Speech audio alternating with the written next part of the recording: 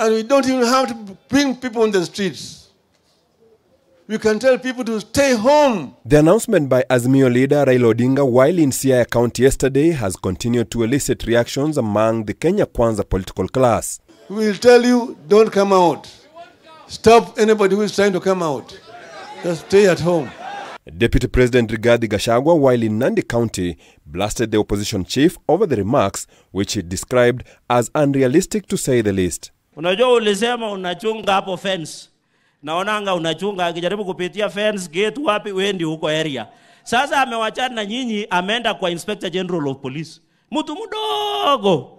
Na huyu mtu is exposed to intelligence. Anasema si lazima utoe watu kwa barabara kwa sababu haiwezekani kupeleka watu kwa barabara. Tumehakikisha hakuna mtu ataenda kwa barabara. Si ati ni maneno inatoka kwa roho yake, ni vile imekuwa ngumu. Sasa wewe utazuiwa kwa nyumba yako, si nyumba ni yako? Si bibi ni yako na watoto? Kuna mtu anaweza kuzuia kutoka kwa nyumba yako? Unajua hii mzee amechanganyikiwa. Sijui ni uzee ama ni kuchanganyikiwa ama ni yote mbili.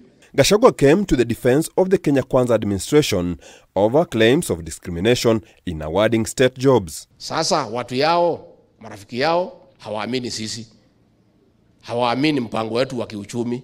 Sasa tutawaleta serikali, si watatuangusha? So wasituambie tutachukua nani, sisi wenyewe tutaamua. Tutaweka kila mtu Kenya, tutaweka lakini wachache, wengi tutaweka pahali kura iko mzuri.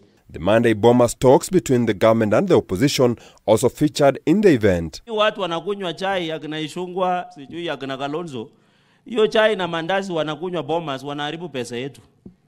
Hakuna haja ya hii mazungumzo. Niliambia Kimani Ichung'wah kabla hamjaanza agenda, wacha hii watu watangaze ya pili. Ya kwanza washasema hawataki nusu mkate, sasa watangaze ya pili kwamba hawataki vita.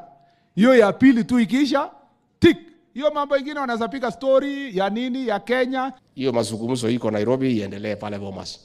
Sisi tuko kazini, mimi na rais, we have no time.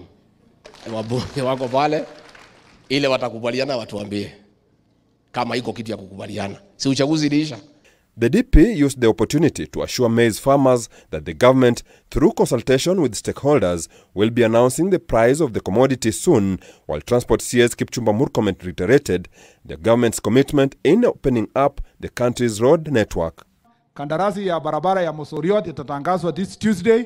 Tutatengeneza barabara zote ya hiyo town ya Mosoriot, ndio watu waende MTC, waende pia university na waende college na schools wenye wako hapo. Tutakuwa na mkutano Monday hii na ingine na rais Tuesday. Ikifika mwisho ya wiki tutakuwa tumetokea mwelekeo. Kwa hivyo wakulima wa mahindi mjiandae, mambo itakuwa sawa sawa. The leaders were attending a fund drive for the Anglican Church in Kapsabet, Nandi County. Ongikochin Philip Murutu, K24, Nairobi.